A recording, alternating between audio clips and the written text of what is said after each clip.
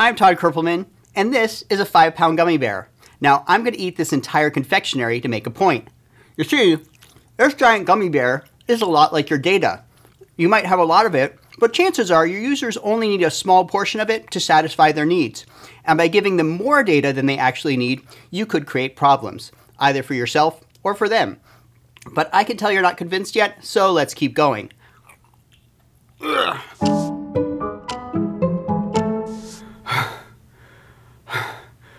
This was a terrible idea.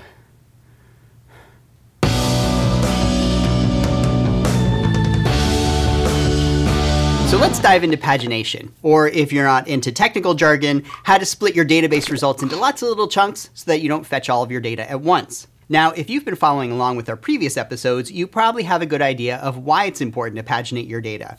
I mean, my restaurant review app might have 50,000 restaurants all located in Tokyo, but if my user is doing a search for the best tempura in town, I probably don't want to send over all 50,000 documents. For one thing, that's going to kill their data plan faster than you can say overage charges may apply, and it's going to be costly to you, the database developer. Remember that you get charged per document read, so if you send over 50,000 restaurants and it turns out your user never scans past the first 20, well, hey, guess what? You're still getting charged for those other 49,980 database reads. So a much better solution here would be to send your user the first, say, 20 restaurants, then send over another 20 when they indicate they need more. Either when they explicitly click a next page button, or when you've noticed that they've scrolled down to the bottom of their current results for one of those like infinitely scrolling table dealies. So let's look at how we might do this in Cloud Firestore. Now, I think the one important conceptual thing to understand when it comes to pagination is that you're not saying to Cloud Firestore, hey, remember that query I asked for earlier? Well, now send me the next 20 results. Instead, it's really more like you're creating a bunch of different and essentially unrelated queries, but each one of them just so happens to pick up exactly where the previous query left off. Now, luckily, the Firestore libraries have several methods in them that makes it easy to create these unrelated but basically sequential queries, so let's take a look at that now. Suppose my user is searching for the best tempura restaurants in Tokyo. Well, I'll probably start with a query that looks a little like this in the client. We get our tempura restaurants in Tokyo and sort by rating. Now this query will probably fetch over a thousand documents. So let's tackle the easy part first of limiting our initial results here. This is essentially done by adding on a limit to your query, something, something like this. And there you go. Just like that, I am already saving tons of data by only loading up 20 documents for that first query.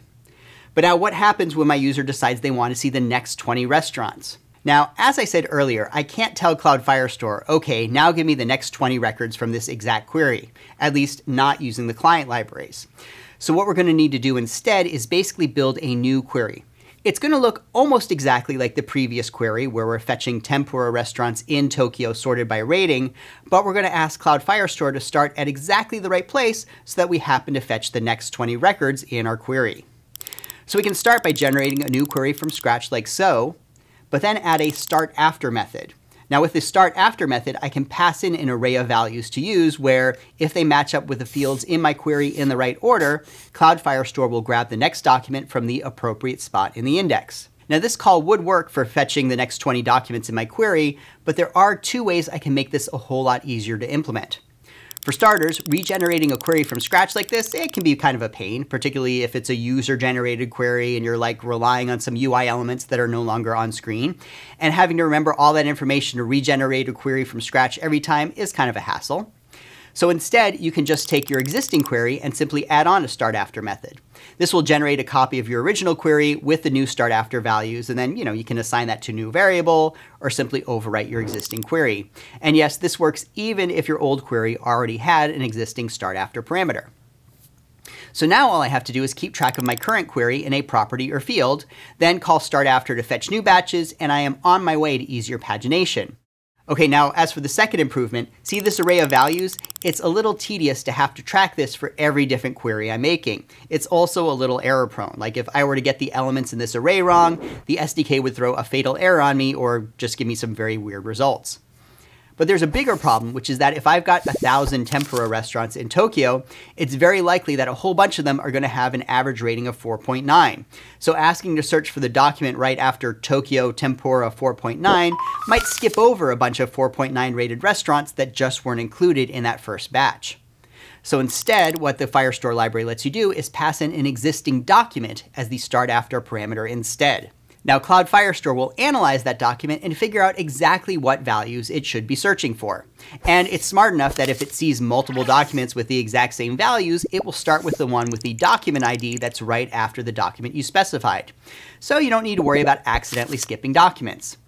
And as you can see, the nice thing here is that I no longer need to know anything about the exact query I'm running. If my user is searching for the top tempura restaurant in Tokyo or the cheapest Italian restaurants in Boston, I can use this exact same line of code and everything just works. So the idea here is I can run my query, get back the next batch of data that I need, then use the last document from that previous batch of data to fetch the next batch, and so on and so forth. And so I can use that technique to populate my next screen of values or add on more rows to my table view and my infinite scrolling table or what have you. So pagination is great, right? But it's not perfect. When you run separate fetches like this, there is some opportunity for weirdness. Specifically, if you have a collection where documents are constantly going to be moving around in your index or you've got data being inserted and deleted willy-nilly, you could end up with some odd edge cases. Some documents might not be retrieved at all if they were to move from like one potential batch to like a previous one in between your fetches. And other documents might be retrieved twice if they happen to move the other way. In practice, most of this weirdness tends not to be too big of a deal, but of course it depends on your app and just how much you expect your data to be moving around. Also, pagination can be a little tricky if you're trying to use it while also updating your data in real time. Let's go back to our infinitely scrolling table here and think about how we could use it alongside our real-time data listeners. If we're trying to be responsible app developers, we might want to deactivate our old listeners and only keep one listener active for the most recent batch of data.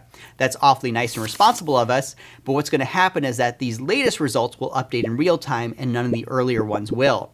And that could be a weird experience if your user starts scrolling back up to earlier data and sees data that's sort of stale or no longer updating in real time. Although in something like a chat app, some variation of this might work just fine because, you know, old chat messages, they tend not to change. So fetching only the most recent batch in real time might be the exact right thing to do. Another option, we could keep adding new listeners for every new batch instead of replacing the old one. This means that if our table has 120 rows, we would basically have six listeners set up, each one responsible for a batch of 20 documents.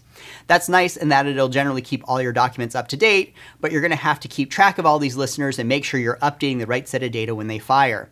And unfortunately, inserts and deletes are going to be painful here, right? Like if a new document is inserted at like slot five, well, that means not only is this first batch of results different, but the start value for the second query has changed. So you're going to need to change that, which changes the start value for the next query and so on and so forth all the way down. And you know, those extra listeners probably means a little bit more overhead for your app. Now a third option would be to actually not paginate at all, but just rerun the original query to start from the beginning and just keep increasing the limit so we get more and more results every time. This will work, and it's probably the easiest solution that accurately handles inserts, deletes, and documents moving around in your collection. But it also means that every time you request a new batch of data, you're basically re-requesting all the old data you retrieved previously, and you get charged for all those reads, which kind of defeats the whole purpose for adding pagination in the first place. Still, this isn't a terrible option if you want to keep the real timiness and don't think you're going to go past, say, three or four pages. Now, all these options have pros and cons, and they do tend to make your code more complicated. So for that reason, I often prefer going with the plain old one-time get call when you start paginating your data in an infinite table like this, but obviously that depends on how real-timey your users expect your app to be. Like in my restaurant review app, for instance, I actually think people would be somewhat weirded out if they saw restaurant results flipping around in real time. So I think I'm better off using some simple one-time fetch calls and not using real-time fetch. On the other hand, if I had like a stock market trading app, then it might be worth the trouble adding in some real-time listeners while still paginating my data. But again, think about your user experience and what they would realistically expect. Okay, so now that this is all clear, let me reveal one tiny little white lie I might have told you earlier. Turns out that with the server libraries, you can kind of say, hey, give me rows 41 to 60 of a specific query. It's done by using this offset method to whatever query you're building. And while this does work in theory, it's generally not a great option because it turns out that when you call this offset method in the server libraries, you still get billed for all those reads that you're offsetting. So this call here will charge me for 60 reads. So you're generally better off using the start at or start after methods if at all possible. Those will only get billed for the actual reads you perform and none of the ones you skipped. So there you go, folks. I'm hoping this was enough of a head start for you to start breaking up your data when you expect to get a lot of it. Not only will it save you database charges, but your users will thank you too. Whew.